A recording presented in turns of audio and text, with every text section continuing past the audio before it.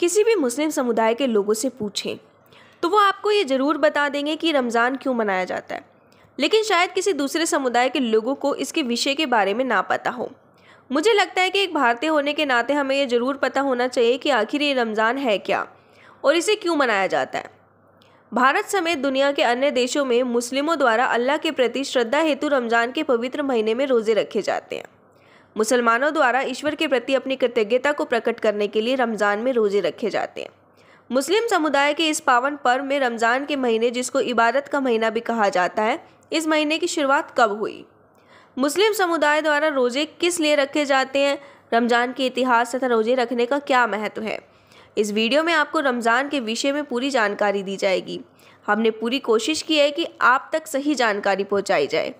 नमस्कार दोस्तों, स्वागत है आपका सरल हिस्ट्री चैनल के एक और नए वीडियो में।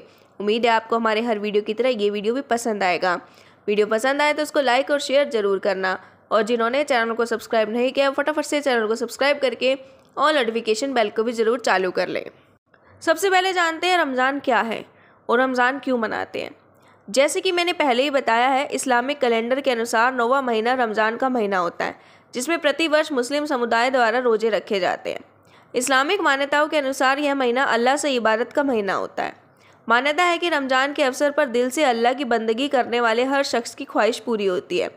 रमज़ान के मौके पर मुस्लिम समुदाय द्वारा पूरे महीने रोज़े रखे जाते हैं।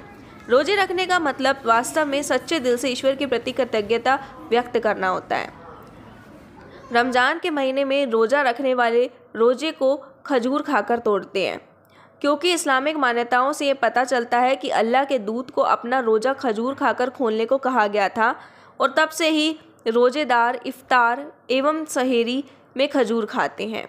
इसके अलावा खजूर खाना सेहत के लिए भी लाभकारी होता है। विज्ञान के अनुसार खजूर पेट की दिक्कतों, लीवर एवं अन्य कमजोरियों को ठीक करने में मदद करता है। इसलिए रोज़ेदारों द्वारा खजूर का सेवन किया जाता है। रमज़ान का यह महीना ईद उल फितर से समाप्त होता है, जिसे मीठी ईद भी कहा जाता है। यह दिन सभी मुस्लिम समुदाय के लोगों के लिए हर्षोल्लास का होता है। वे इस दिन नए कपड़े पहनकर सज धज के मस्जिद में या ईदगाह जाते हैं और वहाँ नमाज़ पढ़कर खुदा को शुक्रिया करते हैं तथा गले लगकर एक दूसरे को बधाइयाँ देते हैं। इस्लाम में रोज़ा का मतलब होता है उपवास रखना। मुस्लिम धर्म में रोज़ा का मतलब है कि उन्हें सुबह से लेकर सूर्य अस्त तक कुछ भी खाने पीने को नहीं मिलता है। रोज़ा रखने का मतलब है कि मुसलमानों को रमज़ान के महीने में गलत और अमानवीय कामों से दूर रहना चाहिए। रोज़े के दौरान वे भोजन, पानी, धूम्रपान और अन्य संबंध से भी दूर रहते हैं। मुस्लिम समुदाय के प्रत्येक व्यक्ति के लिए रमज़ान का महीना सबसे पवित्र महीना होता है। रमज़ान के इस पवित्र महीने में पूरे महीने मुसलमानों द्वारा रोज़े रखे जाते हैं। मान्यता है कि रोज़े रखने वाले व्यक्ति की ईश्वर द्वारा उसके सभी गुनाह को माफ़ी दी जाती है। अतः प्रत्येक मुसलमान के लिए रमज़ान का महीना साल का सबसे विशेष माह होता है। रमज़ान के बाद मुसलमानों द्वारा ईद के त्यौहार को मनाया जाता है।